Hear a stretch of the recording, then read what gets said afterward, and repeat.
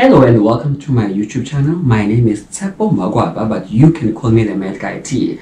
Um, if you haven't subscribed to this channel, please do subscribe. If you are a returning subscriber, welcome back. 2021. I hope we all gonna have a great year and everything's gonna be way better than 2020 was because 2020 was the ghetto but we're moving forward so i thought to myself what video are we going to do as our first video for the year and I was like, mm, do we do a live update? And I was like, Whew, maybe not really a live update because I've seen a lot of comments that I've been getting on the channel. I've been seeing a lot of messages that I've been getting on my Instagram account and also on my Twitter DMs. So I was like, let's just try to address some of the most common questions. So this video will be talking about the students that are non-traditional medical students. So those are the people that don't get straight into medicine after.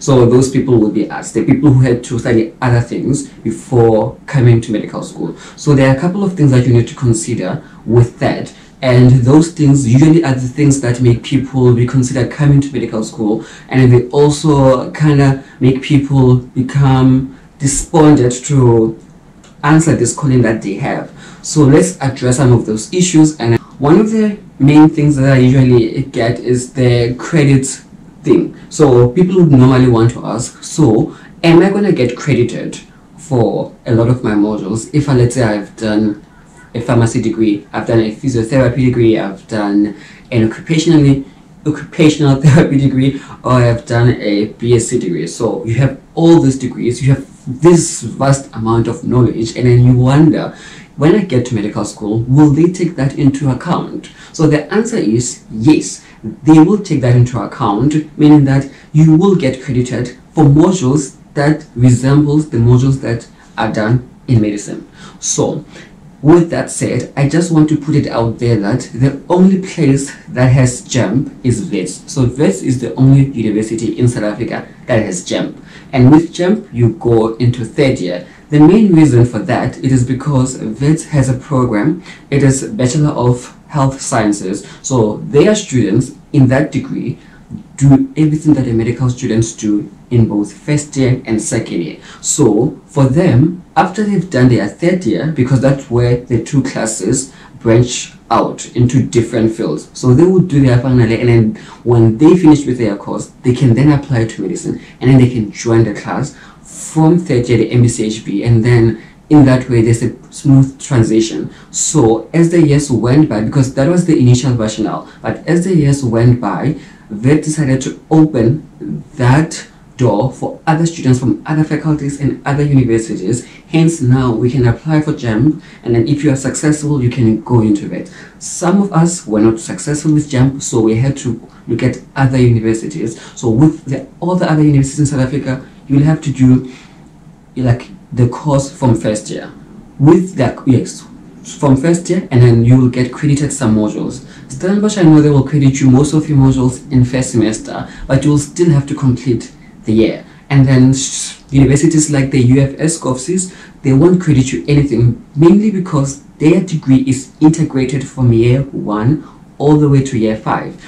In that way you cannot then do one module and then do the other because their modules when they assess them they assess their modules in pairs. So their students don't write one exam for one module. They would combine let's say um, histology physiology and anatomy in one paper. So they write that. So you can now get credited for physiology and then you still have to write anatomy and histology in that same paper. So that is where the differences come in.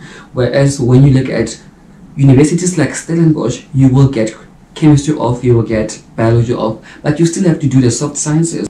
Those courses are very important because they will also help you be able to know how to relate with people, how to relate with patients, the difficult ones, the anxious ones, and all of that. So if you don't do the soft sciences, that also puts you at a disadvantage. So it is for those reasons that you'll need to understand that most medical schools in South Africa, you will start at first year level with the exception of Wits University, which might put you at third year. But that should not be the one thing that makes you not want to apply. Because the honest truth is, yeah, the course is six years. Six years is a very, very long time, but also with the same breath, if let's say I apply at 24 and I'm thinking to myself, mm, I'm only going to finish when I'm 30. The honest truth is, you are going to be 30 one day. Whether you go to medical school or you don't go, you will turn 30. So you might as well be 30 with a degree. So that's my take on it. So if time is the one thing that makes you not want to apply, I would say to you, time will pass either way, whether you go or whether you don't go, whether you give yourself that opportunity or you don't, time will still pass. Um, another point is with the syllabuses. The syllabuses are very different in that if I say I have done chemistry and I want them to give me chemistry of, sometimes you would realize that you did analytic, analytical chemistry where you did your chemistry and then the medical school maybe offers organic chemistry. So you see the two are very different. You may say I've had this module, but in honest truth is you didn't really do the one that is being done in medical school. So also with the HPCSA, they expect us to do a certain number of credits with our degree courses across the different health sciences. So if you don't get those number of credits, then you cannot qualify to get the degree. And we all know this, even with BSc degree, when we had to choose our small majors, I don't know what we call them anymore because I know we had majors and then we had those extra subject that we had to add on. Every time when you added the extra subject, you had to look at the number of credits that those subjects had. And then we also had to take into account how many credits are we expected to have for that year. Some people would go overboard and take too many and then you would find people like us who would just take enough. So if they wanted me to have 120 credits for that year, I would just take subjects that would give me 120 credits for that year. So the same goes for medical school. So if they give you so many subjects off, you end up missing specific credits. And now with our course, we don't have optional subjects that we can add the whole degree has already been set out the way it is so we have to do all those courses so everything is a major here we don't have majors and minors so that's another thing that we have to take into account when it comes to accommodation um, that's another big thing especially when you come as a postgraduate student uh, if you come let's say after 30 years she like as a, somebody who's 30 years old and above most of the time the university wouldn't put you in a junior residence.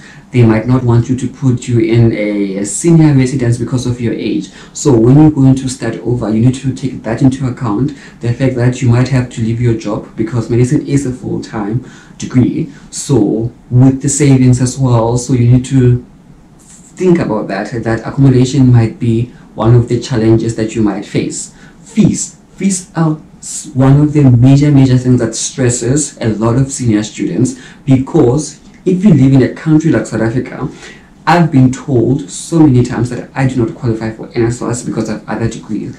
And I'm just there like, that doesn't make sense. Does that mean that I only have to have one qualification to my name? Because NSFAS only wants to sponsor one qualification. And if you have more than one, then they don't sponsor other ones. And then you look at um, the Faculty of Medicine and Health Sciences bursaries, there are so few. Our country keeps on saying that we need so many doctors, there's a shortage, but they don't want to fund students to become doctors. So one of the major things that we struggle with a lot as postgraduate students doing medicine is funding.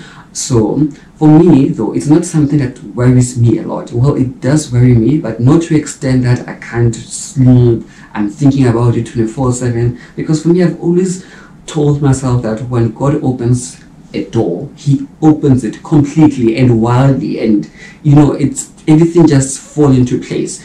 Like when you connect the dots looking backwards, you're like, yeah, everything makes sense, but when you go forward, a lot of things don't make sense. Like every year you face the same uh, difficulties with registration, with raising the registration fees, with having historical debt and all of that.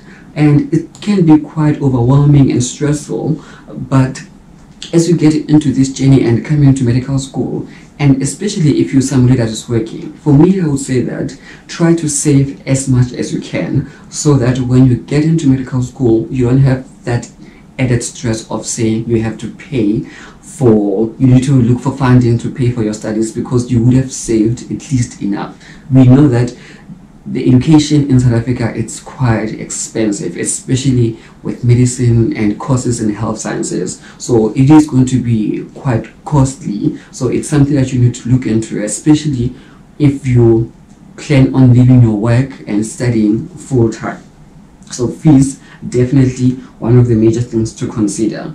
And also now it comes the thing of goals that you have for yourself, your age, time. I know as people we might say that we don't care about what the society says about us and then this is our journey and all of those things. That's how I keep myself going. But the honest truth is sometimes you look at your peers, you look at the people that you went to school with, you look at the people that you did your first qualifications with and then you think to yourself they have done so much for themselves and then you don't even look at them with that eye of being oh, oh i'm jealous or i'm envious it's just the thing of you thinking to yourself that where would I have been had I had gone to medical school straight after high school?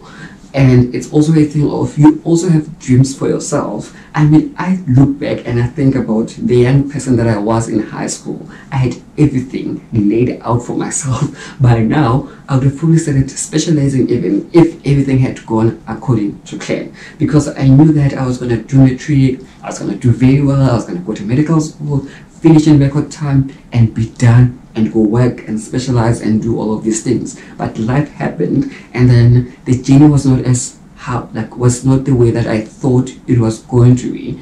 It was very challenging. There were a lot of hurdles in the way. There was a lot of times whereby I felt like I cannot do this, and even now there's still moments whereby I sit back and I reflect, and I'm like, if I had just went straight to med school after high school, where would I be? Where would I be right now?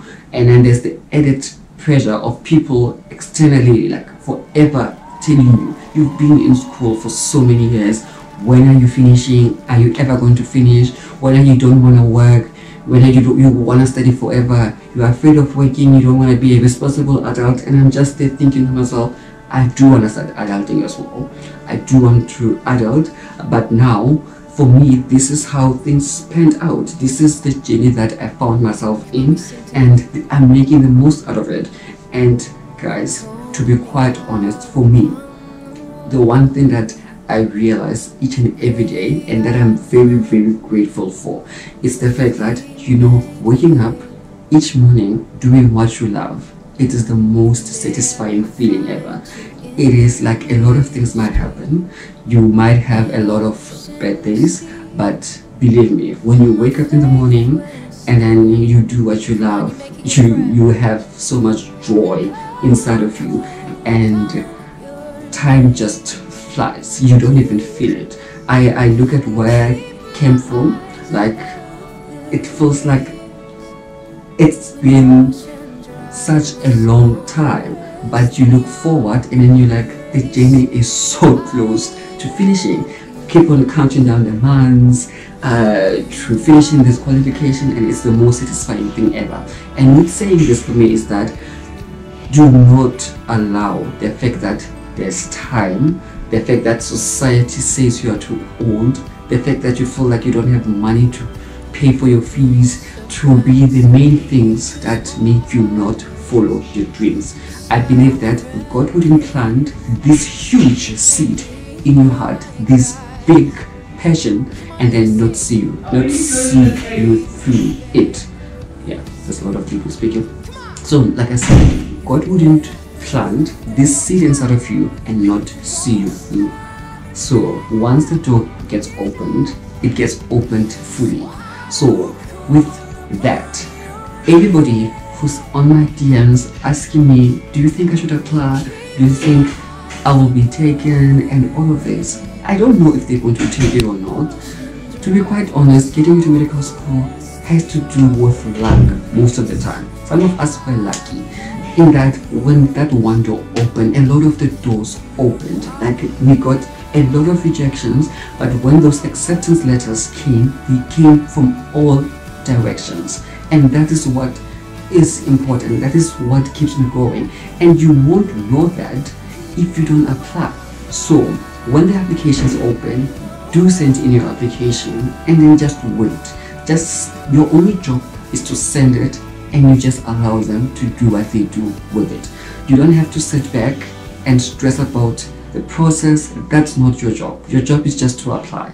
So please, everyone in my DMs asking me, do you think I can do this? Of course you can do this. The fact that you've gone through so much and you still want to do it is testimony enough to to show us that you will be able to see this through and i do not want to be this video to be this one big sermon but i really like came back today from this clinical skills lab and i thought to myself that video needs to be short we need to put it out there because we really really need you you might think that we don't need you we need you South Africa needs you. The people in the rural areas need you. You've seen that we are in the middle of a pandemic right now and we need all hands on deck.